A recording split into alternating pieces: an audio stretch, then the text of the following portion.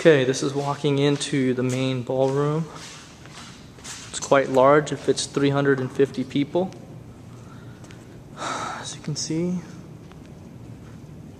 you got lighting controls everywhere you need it.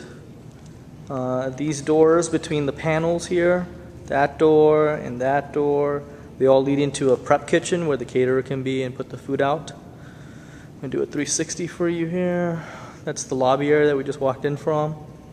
There's a very nice courtyard outside as well where we can do some seating and also an entrance. Again, quite large.